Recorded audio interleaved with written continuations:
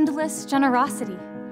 Dorothy and Izaak Killam's lasting contributions to health and education include Dal's Killam Memorial Library and the IWK Children's Hospital in Halifax. Their estate also created a unique and valuable trust for higher education in Canada, a legacy that has supported the dreams and dedication of thousands of graduate and postgraduate scholars and will continue to benefit thousands more for years to come.